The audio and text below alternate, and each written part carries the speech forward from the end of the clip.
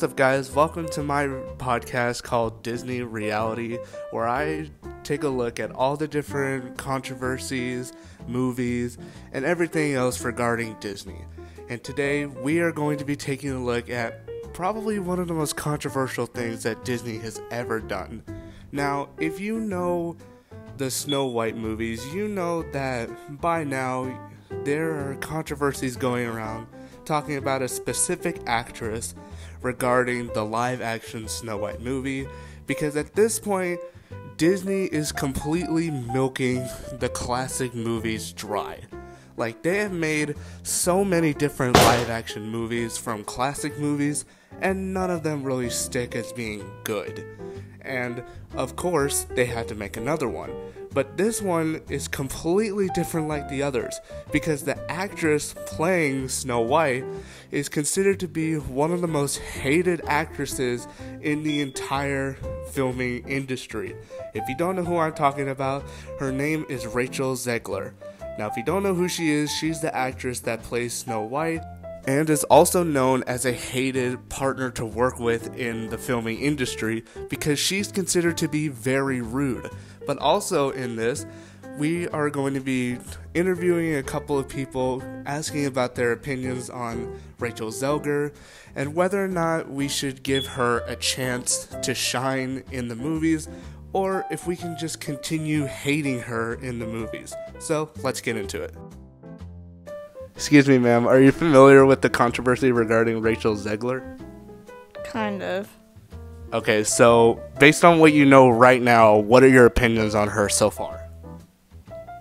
I haven't seen like the controversy of it, but what I've heard is that she's like bad and she doesn't portray the character. But I don't think they should have like a different colored girl than a white girl in Snow White. Thank you. Today I'm with Ms. Yu talking about the latest controversy regarding the new live action Snow White movie. Now tell us, how do you feel about the controversy relating to Rachel Zegler? So, regarding the controversy, I think Rachel Zegler looks like Snow White, so she would be a good candidate. However, I would see how I can see how people are I guess having backlash against some of the things that she's wanting to change to modernize modernize the movie itself. But I say at least let's see what she's going to do, what she's going to change. I know she's kind of talked about it a little bit, but seeing it visually because she's trying to modernize Snow White, and I think that may be needed because of the message that it gives to young girls and women. Um, so I'd like to see what they change and what they do first before I fully have an opinion, but I don't have an issue as far as race and who plays Snow White. Whereas some people may have issues with that, I think if you are um, experienced enough and you have enough acting skills and you want to do it, I think that everybody should have a option to be able to play Snow White. All right, thank you.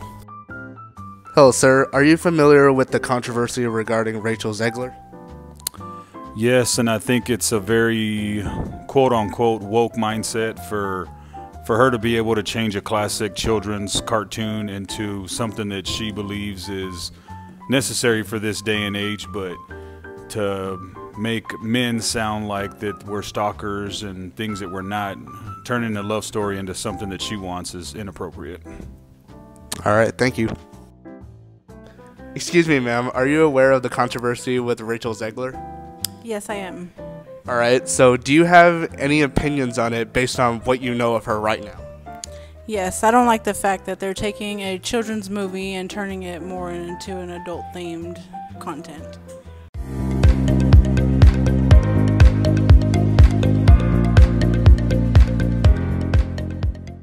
Alright guys, now before we continue on with the video, I just want to give a full disclaimer that I don't want any of you guys to be sending threats or hatred towards uh, Rachel Zegler because I'm pretty sure she has already had enough criticism or hatred, and I don't really want people to be adding on to the hatred to her.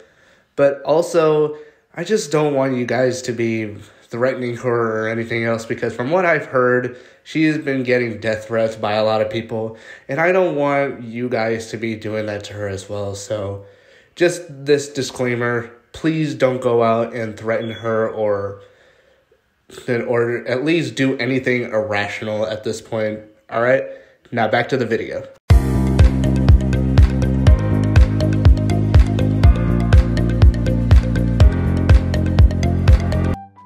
Alright, and that's all the time for the interviews today.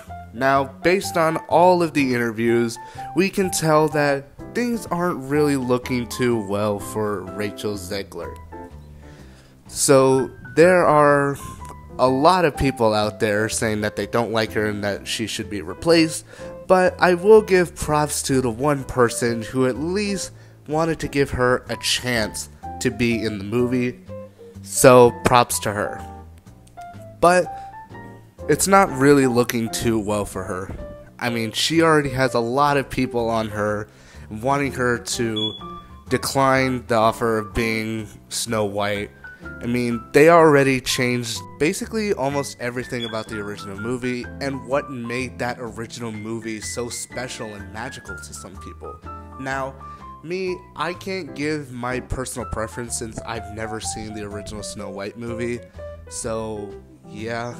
But what I can say is that from what I've seen, is that the original Snow White is magical.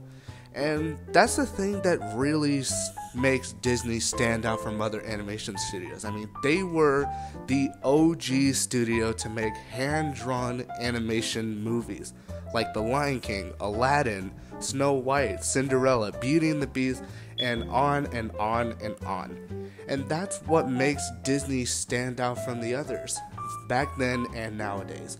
Back then, they make hand drawn classic movies.